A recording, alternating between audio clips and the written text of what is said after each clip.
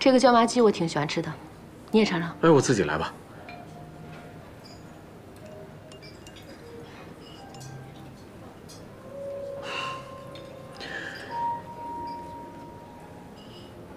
风景真不错啊，啊，环境也挺雅致的。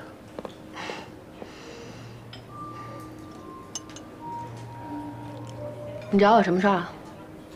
哦，呃，是关于癌症晚期犯人的事情。思乔他们从看守所回来，告诉我一件事情：犯人周德义临死前把他的器官全部都捐走了。我挺好奇的，所以。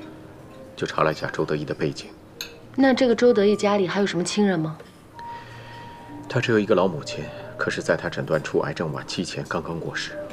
当年周德义考上大学的时候，那是他们村全村的骄傲，可是后来成了阶下囚，老母亲也就跟着遭人白眼。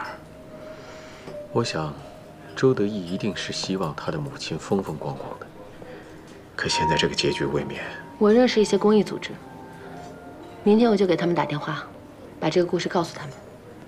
哦，好心人还是很多的，会有人帮忙的。那就谢谢你了。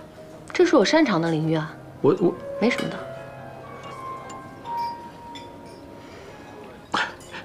你说，我一直都认为你们这个所谓的公共关系部门嘛，就是公共关系。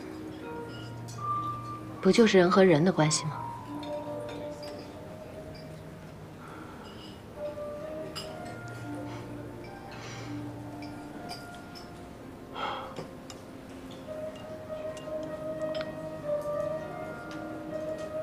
哦。